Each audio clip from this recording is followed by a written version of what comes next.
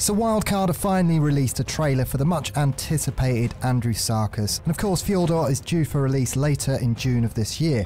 Speaking from experience, I honestly feel it's one of the best maps yet, and along with the release of the trailer, we can now view the creature's dossier. Interestingly, it implies that the Andrewsarchus can plough its way through deep water, but has a poor turning radius. The dossier states that it has a sweet tooth and will be tamed passively with honey, or at least it suggests so. Domesticated is going to be a fast beast of burden as long as you don't need to turn on sharp corners. The dossier is also stating that it's going to be an ideal mount for searching the ocean floors for silica pearls, as it sinks easily to the bottom of the ocean floor. The saddle, of course, is featuring a minigun, and a fully armoured Andrewsarchus is going to be able to stand toe to toe with some of Ark's biggest creatures.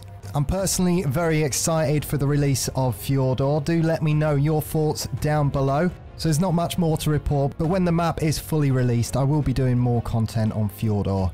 So until next time, I'm James from Complete Games, and I'll see you.